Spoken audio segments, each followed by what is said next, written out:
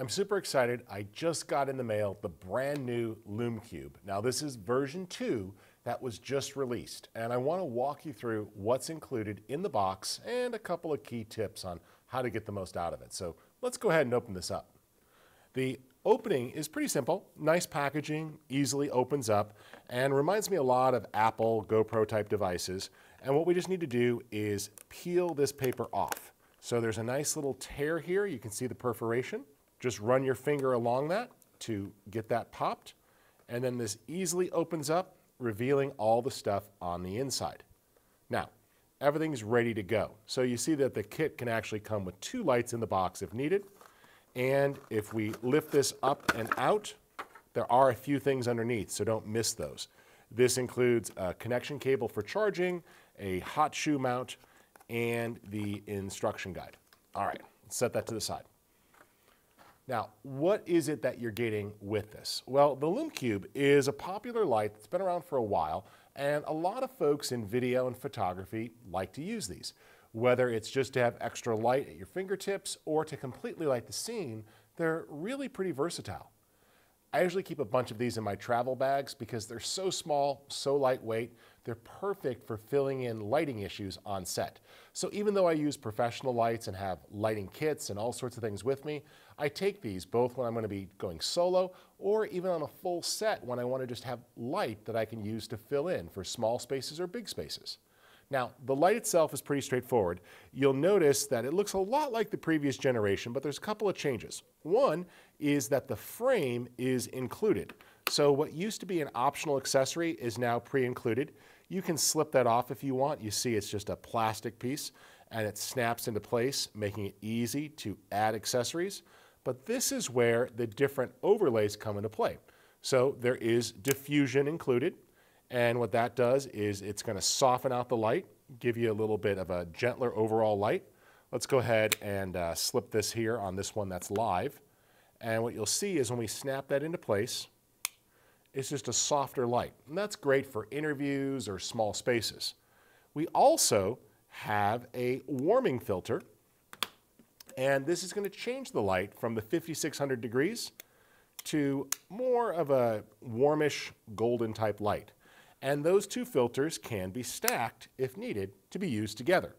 Now, there are a bunch of these filters available from the folks at LumeCube in different lighting color temperatures, diffusion amounts, colored gels if you want to light a backdrop or use these for creative lighting effects. So a lot of cool options to make this really versatile. But you do get the two basic ones included right in the kit, and these are easy to stack. Now, here's one of the biggest changes, and that's the back of the light. In the past, you had to use a coin or a screwdriver to open this up. Now it's just a simple pull tab. Now, there's some pros and cons with this. The previous version of the light did have greater waterproofing. It was really rated for up to 100 feet, and I do take those lights on dives sometimes. This one is only rated to 30 feet. This tab is not going to be quite as waterproof at those depths. Now, I'm not sure if they're going to release, just like before, a metal plug that you could put in there. I'll check on that. That'll give you some flexibility for other situations, but it does make it easier to get in and out for charging. Another big change here is the connection type itself. Gone is the micro USB, which I really had little use for, and now we have the standard USB-C cable to connect. This is going to make it so much easier to plug this into your modern computer and other devices that you have because so many folks are going with this USB-C connection. What else is different? Well, the light itself has a wider field of view. So if we look at some of the specs, it really stands out. Let me walk you through those because they're pretty cool. First up, the light is color balanced at 5600 degrees Kelvin, which is great if you're going to be shooting in sort of daylight type setting. It also has an 80 degree field of view, where before it was a 60 degree field of view. This means the light just covers a broader area which is great for filling in the light in more spaces. It's a little more broadly focused. Beyond that, you'll see that it is waterproof, but a little bit less of a distance. It did switch to USB-C, and it does have adjustable brightness a couple of different ways. So how's this work? You can power the light on by just pressing the power button on top. And this allows it to turn on and off. So the first button is power. Once that is enabled, you can take advantage of the simple buttons next to it. Plus button is going to take it higher. And you see with each click, it goes up. And eventually, it's going to max out at the full brightness. You can then, with the buttons, take it up or down very quickly. And these are in smaller 10% increments. Now, on the bottom of the light, we actually have a built-in thread, which is also cool. This means you could take the hot shoe accessory that comes in the kit, so you can mount this to the top of your DSLR if you're looking for some light for video or to fill things in for constant shooting. And this just threads right into the bottom there. You see it's right there. Just take it and thread it in. That's very easy. Take it back out. This also means you can use it with things like micro ball heads or other type accessories. But here's what I really like. Let's leave that light on for a second, and I'm going to launch the app that they give you, the Lume-X app, which allows for control over the light. So we'll open up that app, and it immediately sees the light once it's turned on. It uses great Bluetooth, so as long as Bluetooth is on, it uses that proximity alert. Gone are the days of having to find some code and type it in or look for the serial number. I just see the light, it sees it, it takes my name and my email address, gives me the ability to register it with one click, and now it's successfully registered and connected. And you can see in the app here that I've got easy control. I could take the light, adjust it, and we've got fine control over the brightness here. I could dial in the exact brightness that I want. I could change it to different types, including strobe lighting or the ability to use this as a flash so that when the smartphone triggers, it's going to trigger. So let's go ahead here and we'll get into camera mode.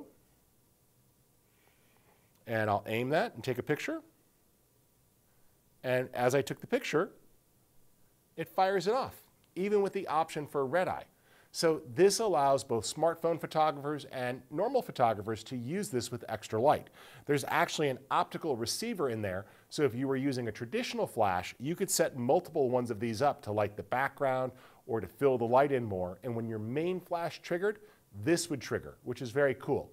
So it means it's not just a gizmo for people using action cameras or cell phones. You could pair this with professional photography light to fill it in, or even connect multiple lights to one app. I can drive multiple lights from this app and adjust them independently. So if I want to light a backdrop or do a multi-person interview, I can refine the lighting right from my smartphone. So really cool stuff, great price point. I encourage you to check them out.